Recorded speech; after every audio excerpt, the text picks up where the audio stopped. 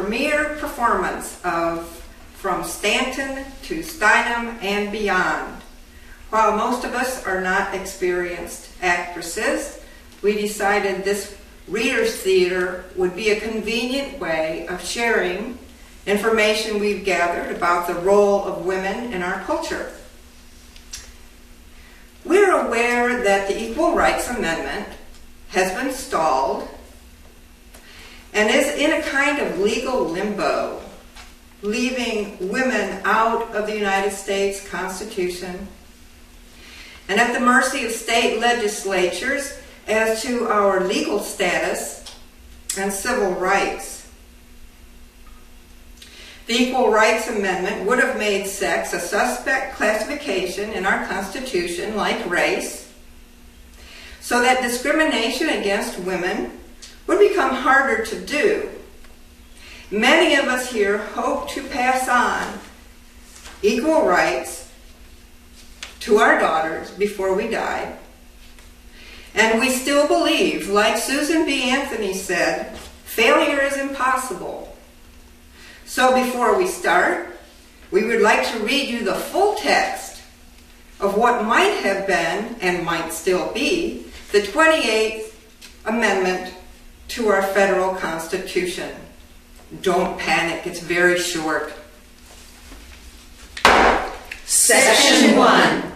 Equality of rights under the law shall not be denied or abridged by the United States or by any state on account of sex. Section 2. The Congress shall have the power to enforce by appropriate legislation the provisions of this article. Section 3. This amendment shall take effect two years after the date of ratification. What we hope to convey here is the feeling for what has led to the fight for women's rights in every sector of our society. How old a struggle it is. The social context which makes the struggle necessary. And finally, what women might have to offer as an alternative in an uncertain future. All of the material contained in our presentation was taken from reliable sources. A bibliography is provided in case you want to do further readings. We hope you will be both entertained and enlightened. I just don't understand why you get so riled up about things like the Hobby Lobby decision. You don't even work there. Barbie, most women today must work, and their health care is tied to where they work. If you need a type of health care that can be arbitrarily denied by the company you work for, you really don't have much in the way of health care at all. The U.S. Supreme Court's ruling lately in the Hobby Lobby case and in Planned Parenthood versus Casey are doing away with women's control of their reproductive and thus their economic lives. It makes them very vulnerable to the elites who are in control. Why would I want to risk my privileges as a woman and my lifestyle because you want to move forward as a woman? It is, it, I like it when a man opens a door for me. If you really understood what it means to be a woman and the protections we have. Lifestyles, privileges, protections, those privileges and protections you speak of continue to be shackles for many.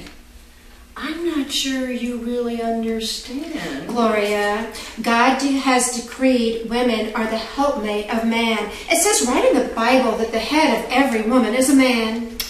Barbie, the Bible also says that in the Lord, woman is not independent of man, nor man of woman. For as a woman was made from man, so man is born of woman.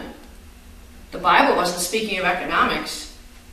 The history of mankind, and I do mean mankind, is a history of repeated injuries and tyrannies of men over women. Hold it. Um, you both will be given a chance to speak, uh, but we have to establish some order here. Um, Barbie, what is your point? I am so far past all this feminism stuff. I have a good job and I have no problem getting a date. I want Gloria to quit badgering me with the idea that women are oppressed by men. She just needs to tone it down. Thank you, Barbie. Gloria, I presume you have a different point of view? Barbie in loving families means maybe women can be cosseted and cared for. But in this country and in this world, it isn't often the case. Just listen to what our benevolent protectors have written about us. The reason for early marriage is obvious when one recalls that woman, who is bad by nature, has to be placed as soon as possible under the beneficial protection of a man. What is woman but an enemy of friendship, an unavoidable punishment, a necessary evil, a constantly flowing source of tears? Since she was formed of a crooked rib, her entire spiritual nature has been inclined more towards sin than virtue. Women either love or hate. There is no third possibility. If she does not love God, she must resort to the opposite extreme and hate Him. It is thus clear why women are addicted to the practice of sorcery. Remember when Elvis sang the words, Listen to me, baby, try to understand. I'd rather see you dead, little girl, than with another man. Todd Akin, who was running for the Senate against Claire McCaskill in Missouri, was asked in an interview whether he believed abortion is justified in cases of rape and replied that rape does not result in pregnancy. He said, It seems to be, first of all, from what I understand from doctors, it's really rare. If it's a legitimate rape, the female body has ways to try to shut the whole thing down. Twitter soon erupted with outrage and links to the interview. He didn't win the Senate, Senate race, thank goodness. More recently, Tom Corbin, a South Carolina state senator, told his colleague, Senator Katrina Shealy, the only woman in the body, well, you know, God created man first. Then he took the rib out of man to make woman. And you know, a rib is a lesser cut of meat. A staffer noted that he made comments like that all the time. Older women are labeled cougars for doing what men have done for centuries. Rap musicians use ho, bitch, and baby mama as if we were destined to only sex and reproduction in life. And the blonde jokes. I am disgusted with the way language is used against us. When I hear a sentence like, mankind is polluting the oceans, I say, that's exactly where the blame should lie. In the 60s, students used to make speeches about freedom for the masses, but women were still expected to serve the coffee. Barbie will think I'm being picky, but language and appearance do influence attitudes. Speaking of the 60s, do you remember when Stokely Carmichael said, Women in the civil rights movement can be of most use in the prone position. Stokely Carmichael, who on the earth is he? I wasn't even born in the 60s. What's wrong with wanting to look good for men? I just loved watching Sex and the City on TV. Those girls weren't worried about their rights, and they weren't worried at all about how sexy their clothes made them look. Speaking of clothes, ask yourself how and why fashions were established. There's a lot of interesting literature in that area. In 19th century England and America, the two sexes wore clothing which widely exaggerated their anatomical differences and clearly defined society's expectations of them. Men were serious. They wore dark colors and little ornamentation. Women in families of means were ornamental and frivolous. They wore light pastel colors, ribbons, laces, and bows. Men were active. They wore clothes that allowed movement. Women were inactive. Their clothes inhibited movement. The clothes clearly reflected the idea of the exquisite slave, submissive, frail, patient while in pain. A woman's highest duty was to suffer and be silent. They were so tightly laced in and for so long. Well, you have to keep looking good if you want to keep men interested. I like it when men take notice when I enter a room. that their spines atrophied and they regularly fainted and died early. Speaking of women's health, why has it taken so long to develop successful treatments for breast cancer? Why are women with breast cancer cosseted with pink teddy bears and often discouraged from speaking honestly about how they feel about the disease? Do men with prostate cancer get stuffed animals? Are they encouraged to be happy about their disease? Why weren't women included in the earliest populations for studying heart disease? We now know that symptoms of heart attack for women are quite different than from men.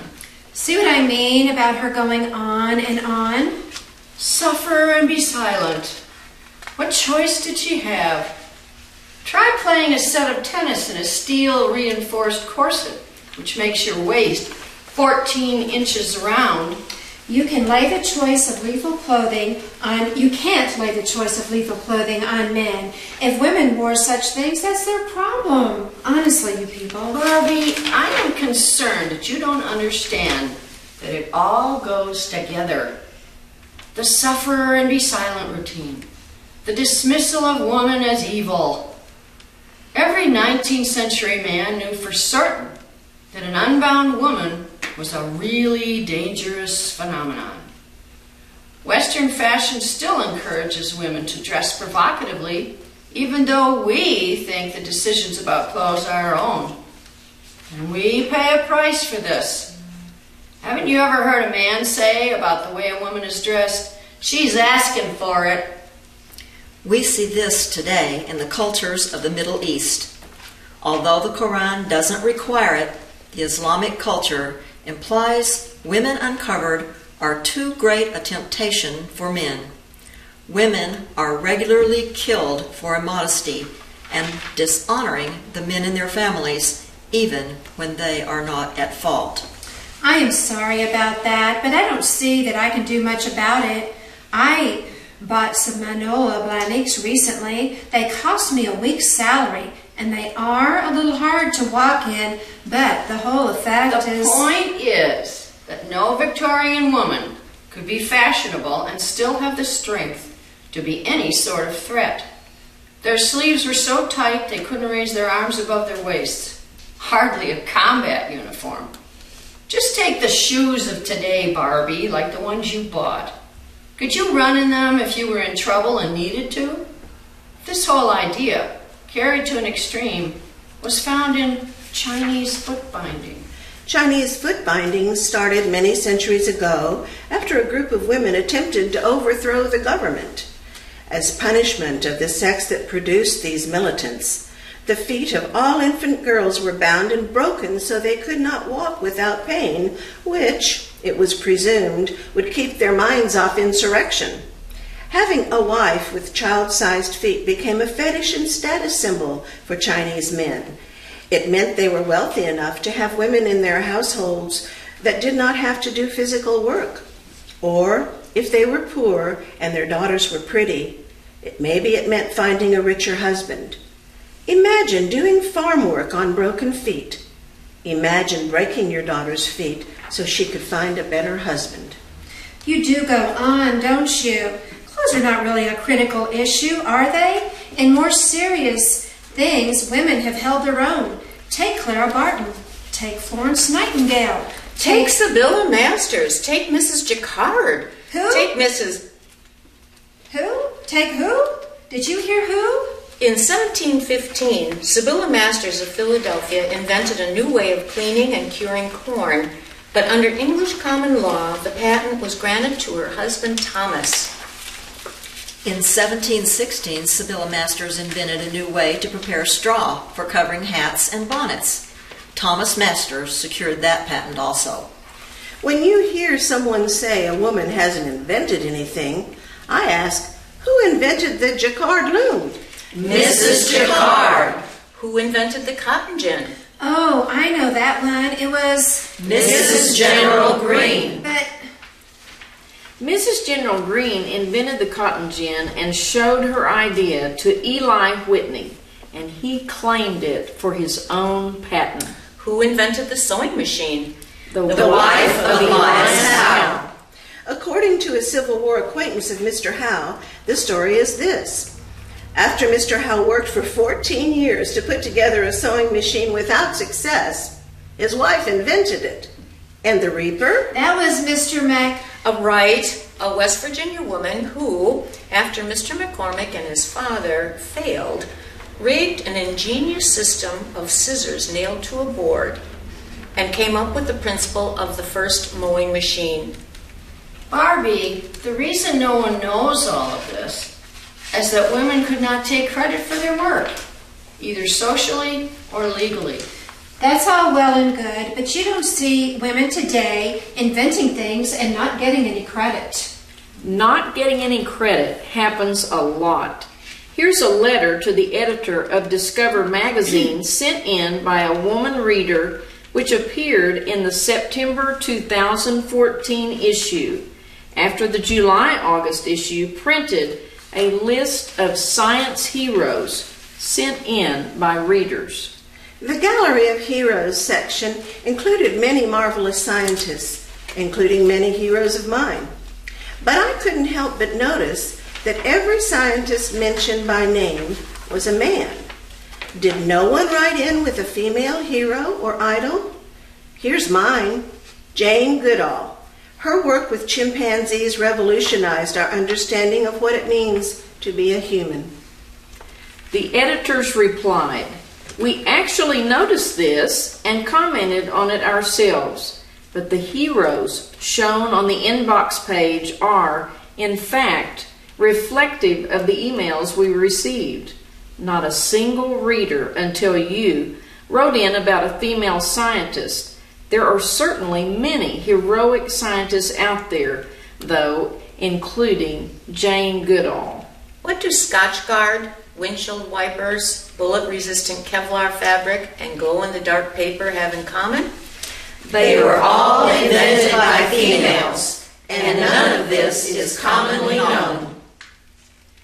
In fact, Becky Schroeder's patent for the glow sheet prompted NASA to ask if she was an ex employee because this space agency was working on a similar project. She wasn't. She was just 12 years old. Have you ever heard of Hedy Lamarr, the beautiful movie star in the 30s and 40s? She was smart as well as beautiful.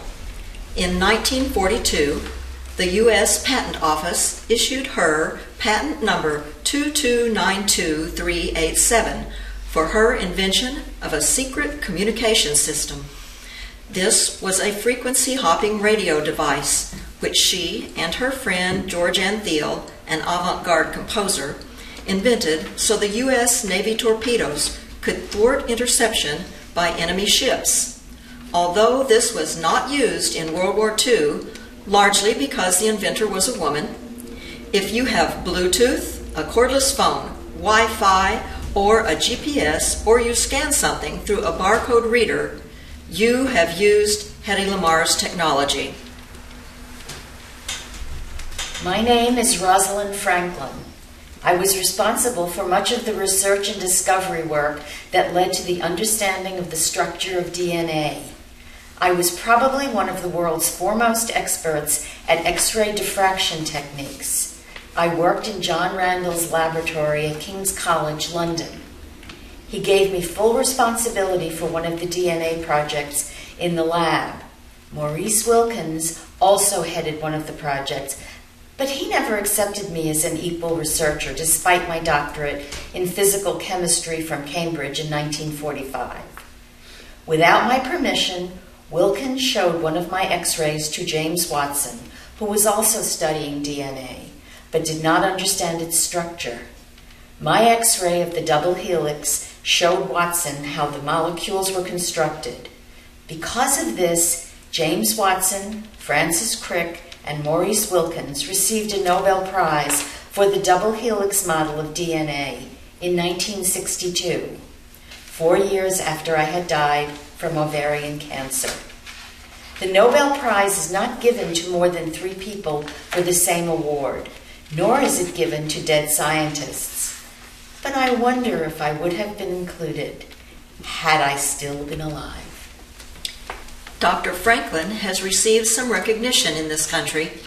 In 2004, Finch University of Health Sciences, the Chicago Medical School, changed its name to the Rosalind Franklin University of Medicine and Science to honor Franklin's role in science and medicine.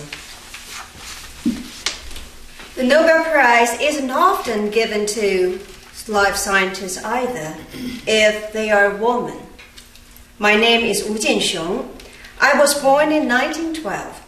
My father, he advocated educating girls, and eventually I studied physics at the University of California in Berkeley. In 1956, I devised an experiment with revolutionary results. My colleague proposed a theory that would disprove a widely accepted law of physics called the parity law, which stated that objects they are mirror images of each other behave in the same way. I conducted an experiment where I spun radioactive cobalt 60 nuclei at low temperatures. If the law held, the electron would shoot off in paired directions. The result of my experiments demonstrated that they did not. My work was termed the most important development in the field of atomic and nuclear physics to date. But only my male co workers received the Nobel Prize for disproving the parity law. The prize committee overlooked me completely. It seems women have to fight for everything. 200 years ago, the laws were really stacked against women. And it seems they still are. Generally, a woman had no legal claim on her children because the father had the right to choose their guardian in his will. When a woman married, husband and wife became one legal unit. The husband. A woman lost control of the land management of her real property to her husband, who didn't have to account to her for anything. What a collection of antiquities, 19th century women, old, outdated laws. As recently as 1977, in the state of Alabama, a wife was required to get her husband's permission to sell her own separate real estate. In Massachusetts in the late 70s, property was jointly owned by both spouses, but only the husband had the right to manage and control it and to receive any profits from it. Supreme Court Justice Ruth Bader Ginsburg has suggested that her male colleagues sometimes do not hear a woman's voice, including her own. In a 2009 magazine interview with USA Today, she said that the other justices, who were then all men, sometimes ignored the arguments she made at their private conferences. Justice Ginsburg said, I'll say something, and I don't think I'm a confused speaker, and it isn't until somebody else in, says it that everyone will focus on the point. In cases involving gender, she said, the court has never fully embraced the ability of women to decide for themselves what their destiny will be. She said the court's five justice conservative majority, all men, did not understand the challenges women face in achieving authentic equality. More than 45 years after the Equal Pay Act was passed in 1963, women are being paid less for performing the same job as their male colleagues. According to the Institute of Women's Policy Research, in 2012, women working full time earned just 77 cents for every dollar earned by a man, costing women and their families anywhere from 400,000 to $2 million in wages over a lifetime. This pay gap is a family economic issue since 47% of women are their family's sole source of income. When you make millions of dollars at a time, maybe it doesn't matter. But the recent Sony Pictures hacking incident has shown us that even female movie stars are paid less than their male counterparts. Every year, usually sometime in April, we recognize Equal Pay Day. That is the date in the current year when women finally make as much money as most men made in the previous calendar year. In other words, it takes women on average 16 months to make what most men make in a year. Well, we can thank Lilly Ledbetter, Alice Paul, the suffragettes, and many others for getting us this far. Just listen to what Ernestine Rose has to say about her efforts to have the Married Women's Property Bill passed in the New York State Legislature. I sent the first petition in to the New York State Legislature to give the married woman the right to hold real estate in her own names in the winter of 1836 37. After much effort, I obtained five signatures. Some of the ladies said the gentleman would laugh at them. Others said they had rights enough. The men said that the women had too many rights already. I continued sending petitions with increasing numbers of signatures for 11 years until 1849. In 1849, the legislature granted women the right to keep what was their own. No sooner did it become legal than all the women said, Oh, that is so right, and we ought to have had that all along. I am Lilly Ledbetter. I was a supervisor at the Goodyear Tire and Rubber Company in Gadsden, Alabama from 1979 until I retired in 1998. For most of those years, I worked as an area manager, a position largely occupied by men. Initially, my salary was in line with the salaries of men performing substantially similar work. Over time, however, my pay slipped in comparison to the pay of male area managers with equal or less seniority. By the end of 1997, I was the only woman working as an area manager. And the pay discrepancy between my pay and that of my 15 male counterparts was stark. I made $3,727 per month. The lowest paid male area manager received $4,286 per month. The highest paid received $5,236 per month. After someone secretly let me in on how little I was making for doing the same job as men, I sued the company. My lawsuit eventually reached the Supreme Court, which denied my claim because I did not file the suit within 180 days from my first paycheck, even though at the time I didn't even know that I was earning less. Ruth Bader Ginsburg wrote a strong dissent. After that, the 111th United States Congress passed the Lilly Ledbetter Fair Pay Act in 2009 to loosen the time limitation requirements for the filing of a discrimination suit. So long as any act of discrimination, including the receipt of a paycheck that reflects a past act of discrimination, occurs within the 180 day period of limitations. But the pay disparity further led to inquiry and inequity in my overtime pay, contributory retirement, 401k, and Social Security, which can never be made up. This time, the law was made fairer for women but we need an Equal Rights Amendment to our Constitution because every right a woman has now can be taken away by a legislature except the right to vote, which is in the United States Constitution.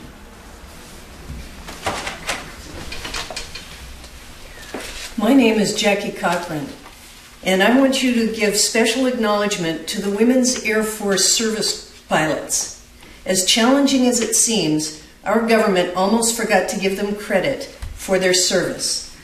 Nancy Love and I started organizing women's flying units and training detachments in 1943. These units became known as the WASP. The WASP flew every type of plane in the Army's arsenal we served as flight instructors, tow target pilots for gunnery training, engineering flight test pilots, and flew radio controlled planes. Even though we flew into war zones, we were still seen as civilians. Of the 1,830 volunteers and 1,074 graduates, only 38 lives were lost. The program ended in 1944 after we women flew more than 60 million miles. 33 years later, in 1977, we were finally recognized as military personnel with benefits. Unfortunately, this was way too late for many of us. Some people in the legislature still say we shouldn't have an equal rights amendment because women would have to fight in wars. Tell that to a female soldier who fired a 50 caliber machine gun in Iraq or Afghanistan. Well, I appreciate hearing about your service, but it is getting late, and I have a date tonight. In 1912, Margaret Sanger, a nurse, accompanied a doctor on an emergency call. Sadie, a poverty stricken mother of three, and become desperate when she learned yet another baby was on the way. Another child will finish me, Doctor. Any more tricks like this, and there'll be no need to send for me. But how can I prevent it? Oh, you want your cake and eat it too. Well, it can't be done. The only sure way is to tell Jake to sleep on the roof. He doesn't understand, does he? He is a man after all. But you do, don't you, Margaret? You're a woman, and you will tell me the secret, and I'll never tell a soul. But though I was a nurse, I did not know how to prevent conception. Three months later, I received another call. Sadie, pregnant again, was near death. The primitive homemade abortion she had performed on herself had resulted in blood poisoning, and now she was dying. By the time I reached her, she was dead. Because I worked on the Lower East Side of New York City, mostly with poor immigrant women, I saw this happen all too often. The next morning, I began what was to become my life's work, helping women to regulate their families so that each child would be a wanted child. I first used the phrase birth control and founded the first contraceptive clinic in the United States. And the following year, I was sent to the workhouse for creating a public nuisance.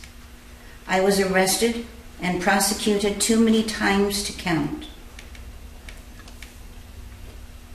I was told I was breaking the Comstock Act of 1873 which defined information about contraceptives as obscenity. And finally, laws began to change and give doctors the right to give birth control advice and later birth control devices to their patients. And I helped organize the first World Population Convention in Geneva in 1924. Eventually, in 1942, with my help, the Planned Parenthood Federation came into being. Wait a minute, I've been doing some reading too. In the February 17, 1979 issue of Newsweek, Margaret Thatcher, who was leader of Britain's Conservative Party, said she owed nothing to the women's movement. Actually, here we go again. Actually, in British common law, she would have had neither legal personality nor the right to vote. Under such circumstance, it is doubtful if she could have held public office, emerged as a party leader, or become a barrister before that. Ellen Goodman, a national columnist, said, We need a dues collector from the women's movement. It's time we collect from everyone who's been helped by the courageous efforts of those who came before us. At the 2015 Oscars, Patricia Arquette spoke for many of us when she said, To every woman who gave birth to every taxpayer and citizen of this nation, we have fought for everybody's equal rights. It's our time to have wage equality once and for all and equal rights for women. Why belabor the point? Women were given the right to vote. We're given, we're given. Why didn't we have the right to vote to begin with? Since we are so cherished in society. Failing that, to whom did we have to look for this gift? Man. Very few gifts have been given so grudgingly. Abigail Adams, in a letter to her friend, wrote this He, John Adams, is very saucy to me in return for a list of female grievances which I transmitted to him. I thought it was very probable our wise statesman would erect a new government and form a new code of laws. I ventured to speak a word in our behalf of our sex who are badly used by the laws of England which give such unlimited power to the husband to use his wife ill. I believe I even threatened fomenting a rebellion in case we were not considered, and assured him we would not hold ourselves bound by any laws in which we had neither voice nor representation. In return, he tells me he cannot but laugh at my extraordinary code of laws my letter was his first intimation that women who were a tribe more numerous than the rest, that is, children, apprentices, Indians, and slaves, were grown discontented. My name is Alice Paul. For us suffragettes, things came to a head in 1917. During that year, 218 women were arrested and 97 jailed for picketing the White House. Picketing a wartime president was considered unpatriotic. They decided to make an example of us. We were arrested for obstructing traffic and disturbing the peace. After my third arrest, I was sentenced to seven months in a workhouse in New Jersey. We were held in solitary confinement and beaten. The gruel we were fed was filled with worms, and our source of water was from a pail. We were deprived of counsel. I went on a hunger strike and was force fed three times a day for three weeks. They could not risk having a martyr on their hands. The newspaper called us iron jawed angels. The President of the United States, Woodrow Wilson, was among the men who tried to persuade a psychiatrist to declare me insane so that I could be permanently institutionalized. The doctor refused. He said I was strong and brave, but that didn't make me crazy. He said courage in women is often mistaken for insanity. We won the right to vote August 18th, 1920. I wrote the first Equal Rights Amendment, and in 1923 it was introduced into Congress. It was reintroduced year after year for 49 years until Congress finally voted to send it to the states in 1972, with a ratification date of 1979.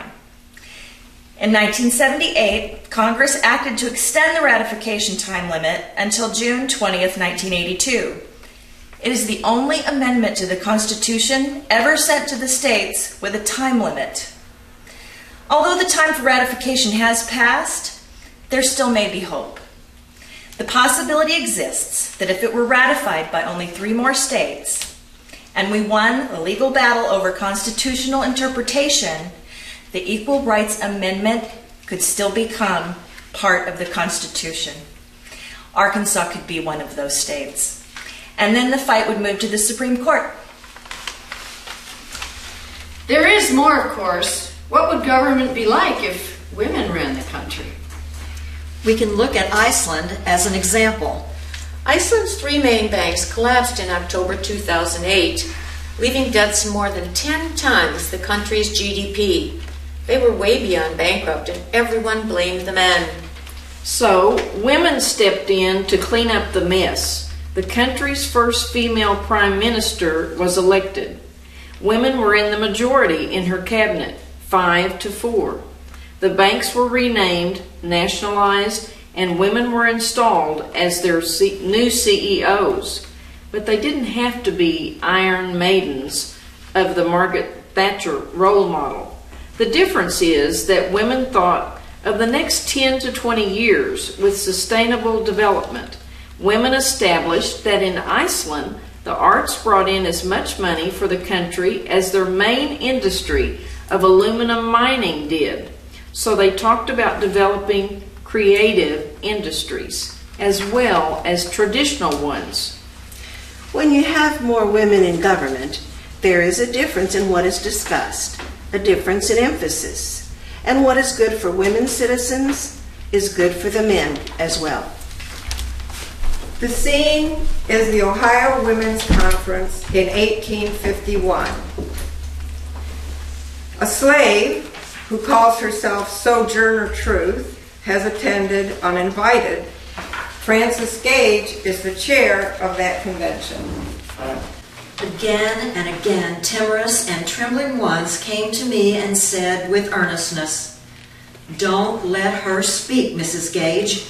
It will ruin us. Every newspaper in the land will have our cause mixed up with the abolitionists and niggers, and we shall be utterly denounced.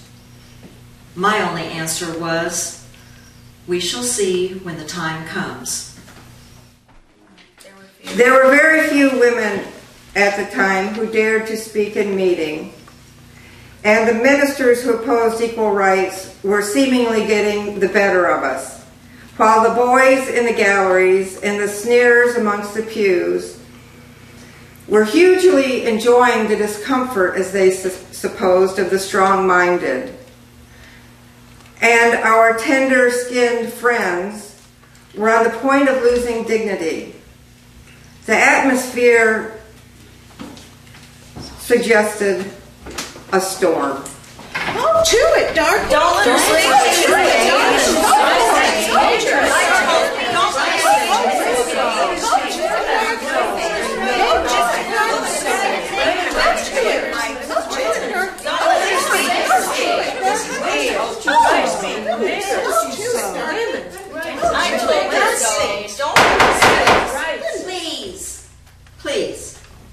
will the members of this convention give this speaker your attention? Ladies and gentlemen, Sojourner Truth.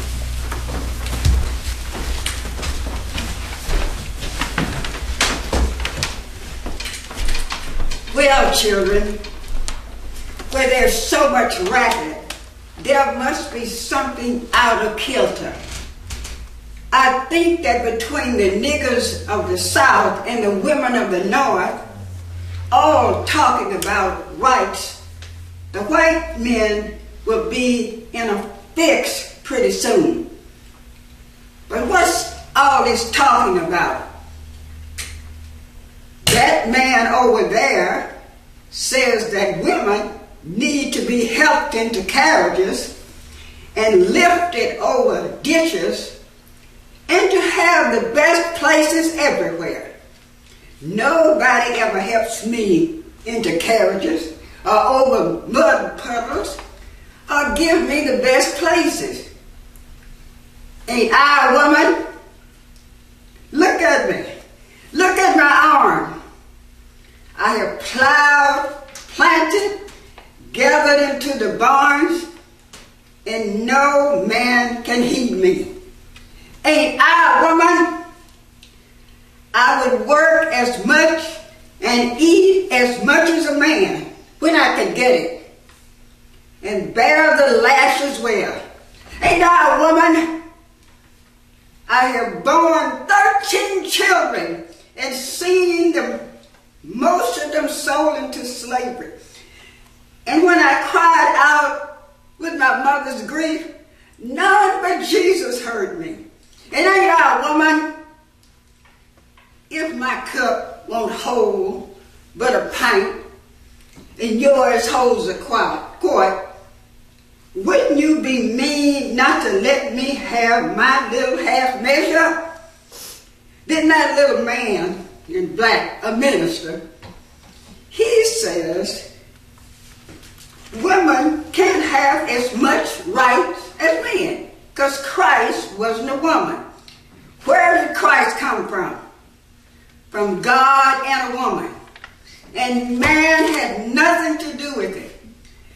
If the first woman God ever made was strong enough to turn the world upside down alone, these women together ought to be able to turn it back again.